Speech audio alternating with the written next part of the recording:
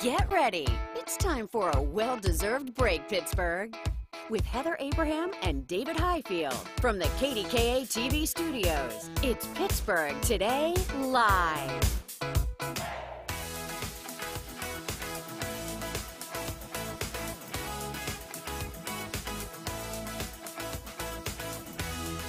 we got a glimpse there of what it takes to be Heather Abraham. Yeah, to make all of this happen, which is as much effort as I can give at 2 a.m. Sometimes you need a little boost mid-morning, and that includes Velcro rollers.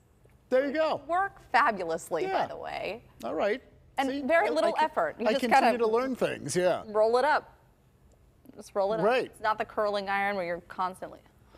But you gave us a little peek into the, the process that goes in, what goes into becoming Heather Abraham. This is not me being mad at you. This is just me venting that you don't have to do what like, you don't have to use a blow dryer, and if you do, it's for like a minute. You know. Yeah, I do use a blow dryer, but it is Yeah. not for long because my hair is short. Yeah. Yeah. It's just the the brush and the and it's just and your arms are constantly getting tired. It's just so tiring to blow dry in style. Is it not? This is why eventually I will cut my hair off again All right, you heard it here first. It's gonna she keeps happen. threatening to do it. She's going to do it sooner or later. because I'm so sick of washing it. I was down to washing my hair once a week. Once a week. That's all I had to do. Could get away with it. I don't know. Okay, I continue to learn things on this show. rant over. Okay, that's it. That's all. Uh. Hey, we want to talk about something that you might be dealing with right now, and that is allergies. Uh, If you feel it in the air, and both Heather and I have been dealing with this, this is why you have glasses on today. Yeah, it's like my eyes have poison ivy right now. Uh, Well, uh, we sat outside the other night just for a couple, like 20 minutes, Yeah. and my eyes were burning. And you know, and I think a lot of other people are going through this too because the trees are releasing so much pollen right So now. much. And so we learned something that that was new to me. I did not know this. It turns out there are male and female trees.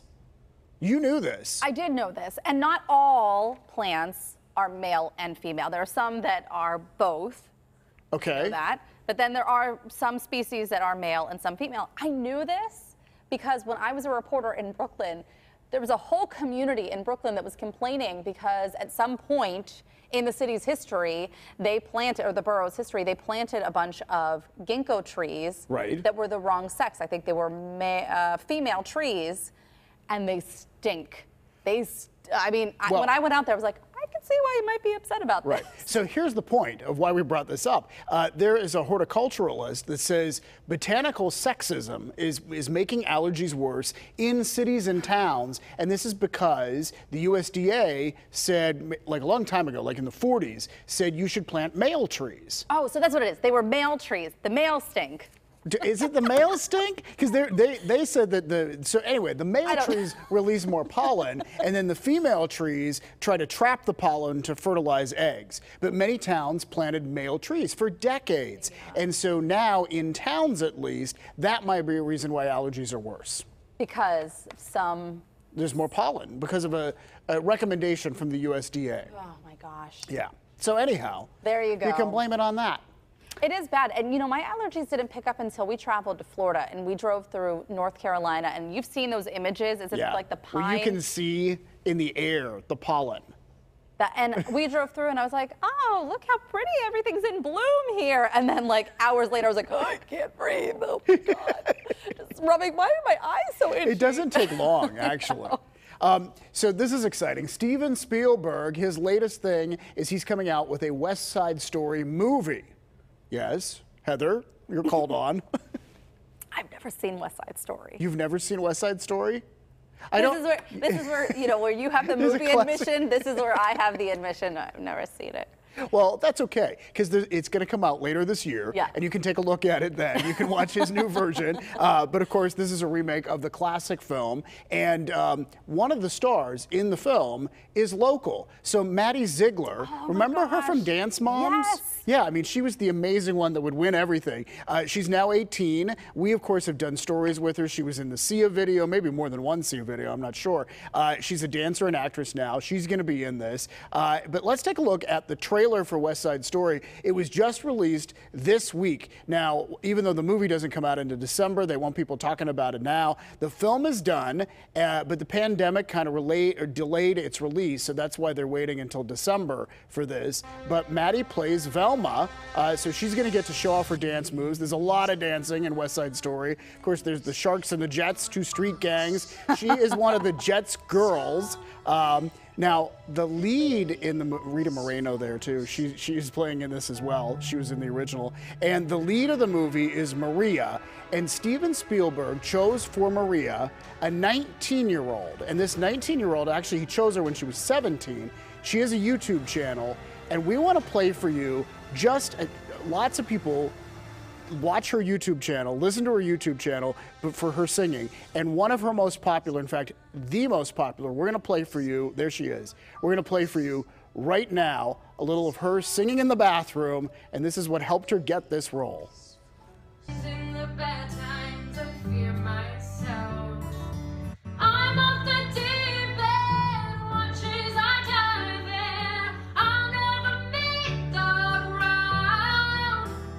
Yeah, that is oh, Rachel Zegler. She is very she talented. is good. And so this this is at 17. Now she's 19, and she was watching the trailer. Of course, she's singing "Shallow" here. Uh, she was watching the trailer, according to People Magazine. At the end of watching the trailer, and this is actually on video, she says, oh my God, I'm in a movie. Well, oh know, my God, I'm in a movie. I bet, I bet, you know, for your first big role, I bet there is that factor oh, in yeah. it all. That where you're looking at it and you have that moment of realization that, oh, this is happening. This is happening. This is really like happening. that thing that we shot is actually going to come out, yeah, and, it's going to be in movie it. theaters. Yeah. yeah. So congratulations so cool. to her. It'll be fun to watch when that comes I out. I will watch it. Oh, I, oh, good. I will. Maybe it. we'll go together. That would be so cute. I think we should do that. Like a little date. A little date, yes. Oh my gosh, in so December. I, we're booking ahead. It's in December. Will you get popcorn or nachos? Why don't I have both? Okay, good. When we'll you go share. to the movie theater, we'll yeah, split. have both. Okay, yeah, that's so fun. I'm, I'm gonna mark. hey Siri, remind me to schedule a date with David in December to go see West Side Story. Okay, is she down with that? She didn't answer back. she added it to my reminders. She's British, by the way. I mean, I'm British. well, that "Shallow" is one of those songs that sticks in your head. It is. And we learned something today uh, that's very intriguing. Yeah. So it's a theory from this guy in Australia who's sort of the Bill Nye the Science Guy of Australia. That's how he understand. was described because we couldn't pronounce his last name. Everybody calls him Dr. Karl, and I was like, "Who's who is this guy?" Because all it said was Dr. Karl. Right. And so a, a big long letters. name. Yeah. So it turns out that Dr. Karl, as we're going to call him, and everyone else apparently Everybody calls, him, else that calls too, him that too, says what you should do if a song is stuck in your head and you want it out of your head is to chew gum. That's all. So he says, and I want to get this right, the pathways that control your repeated jaw movements, like chewing gum, are also used for replaying music in your head. So that's how you can sort of break, because there are that. some songs that you get in your head and you all day, and then it'll come back. Come oh, back, yeah. you think you shook it, and then it comes back later that night. You know what I always think is interesting is how you got the song stuck in your head. Yeah. Do you ever go home and sing songs that I've been singing all day? Yes. Yeah. You plant things, and it can be something so minor. Like I just hear her from her desk, you know, singing something very, a little quick Yeah. thing, and that will launch me into it. And then I'll be like, how did I get that in my head? Yeah. Yeah. Because you're very musical. You enjoy music. At my desk all day yesterday. The only thing I kept singing from a song was, I know that's right. That's all I kept singing. Everybody was looking at me like I was crazy. But That did not launch me into uh, no, you didn't. my own didn't version of that song. You I didn't go didn't- home and tell Gary, I know that's right. I didn't. We, we want to tell you about what Billy Porter is up to, uh, another great musician. Uh, and he is going to come back to Pittsburgh uh, to make a movie. yeah, but Uh, this is a different role for him, right?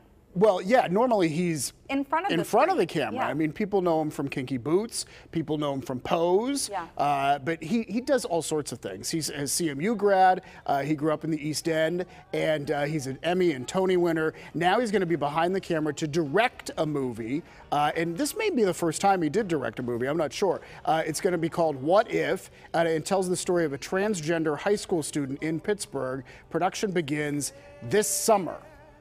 That's So, really neat. Something to look forward to. Everything he does, he does so well. Yeah, and I very thoughtful. yeah, and I, I've had the chance to talk with him, and in fact, I have his number right now. Uh, Let's I'll call do a little. I don't think that's a good idea. Can we FaceTime him?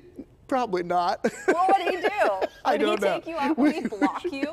he might. I don't know. I shouldn't have said that. But anyway, we have become friends, and he's just a fantastic guy, and I'm so thrilled for his success. I double dog dare you to FaceTime him. Okay. In the commercial break. We'll do it. That way, if he yells at you, it won't be. It won't happen live on TV. I don't All know where we are. This next thing you actually found, and it was so interesting Well- because it, it's all about it's all about where you park when you go to the store. And well, you have a favorite spot. I think Right. most people have a favorite spot, but do you try to get close? I, as a mom, like to park near the shop, the cart return. Yeah. And when it, when it dawned on me that that's the best thing to do, I was like, huh, why is this not something? Why doesn't everybody know share this? with each other? Right. Because that's th- when you're having a baby, you're like, I don't know how am I going to carry this and this and this and then. Mm-hmm. Next to the cart return, that's where you park. Not the closest, just park next to the cart return. That makes sense. Yeah, because I don't even and- try for either of those. I just try for. I like to be on my own. Yeah. I, I like to like have space to get in and out of the car. So, what is that noise? Is that noise? Is anybody else hearing a humming? We're being abducted by aliens in here. I don't know what's going on. Uh, anyways, so that's my advice. But this guy realized how often he was going to the grocery store. He goes Mm-hmm. maybe once a week for his big shopping items, and then he goes a couple other times to pick up the smaller things. right. So he decided to go through the painstaking task, task over six years to document parking in every space. He may have had more time on his hands than the average bear. this is but, not during, but- just during the pandemic. This is six, going back this, six and, years. and this is getting a lot of attention on Twitter, right? Yeah, Because so he's this- posted all this. this and so trending people are like, holy cow. All right, so let's show you the first picture. And this is uh, in Bromley in the UK. So this is a layout of the parking lot of the grocery store that he shops at. And the orange spots you see here are uh, the cart return, which he calls, because it's the UK, the trolley bays. See, I thought they so call them buggies. I don't They- know. I'm He's- surprised they call them trolleys. he said the trolley bays, Okay. and then um, he said the next picture here shows uh, how he labeled everything. So when he did his spreadsheet, he knew like F1, F2, and so on based on rows. Okay, okay, So very scientific. very scientific. 211 spots he could legitimately park in Uh huh. Based on like motorcycle and handicap spaces. So he couldn't park in those. He has car. children, so he could park in the family spaces, so he Okay. counted those in. And this is the final document based on the colors there, as you can see in the corner. So the pink at the bottom is avoid. Avoid those spots all the way up to the God tier. Those are the spots that so you So the want. turquoise colored ones are the God tier. Yeah. So I can't tell. Is that is that close to the store building there? It looks like it's probably Yeah. the closest Yeah. and the most available, you know. That was a lot of research for what I think most people already know. You know. that you park close, unless, to- unless you're a parent. Unless exactly. With young Unless- kids. Then you park you- next to the cart return. That's what we've learned this morning. when I had Lila and she was like, you know, two weeks old, and I went out to the grocery store for the first time, and I put her in the car, and I put the groceries in the car, and then I had the cart. I was like, do I just leave her in the car to take this back? right. Do I take her back out of the car now to take this back over here? And I totally get why you say what you say. now you get it. All right. Words of advice from Heather Abraham. well, today is Thursday, and that means tomorrow is Friday, and that means it's time for our Friday free for all. So we would invite you to post your questions to our Pittsburgh Today Live Facebook page. We will try to answer as many of them as we can tomorrow, and Ron is going to join us to answer, and Mikey is going to join us to answer as well. So there's going to be four of us answering your questions. Selena happens to have the week off, so she cannot do that, but we We're will get her her- involved another time. Take a look at her Instagram and be jealous. There you go. That's all I have to say. All right, well, we have a really fun show today, including the hottest ticket really across the country. The immersive Van Gogh experience is selling out nationwide, and guess what?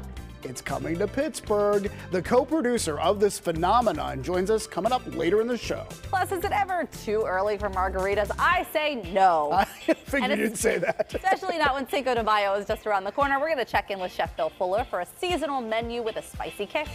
And plenty of options for things to do this weekend, especially for fans of The Simpsons and Shakespeare. How the two collide in a funny show for kids of all ages. That's in our weekend guide with Sean Collier. It's Thursday, April 29th. Wait, what? It's already the 29th. Okay. Yes, it Oh gosh, That's where did correct. this month go? We're so glad you're spending part of your morning with us. We'll be right back. Seriously, where did April go? It flew by.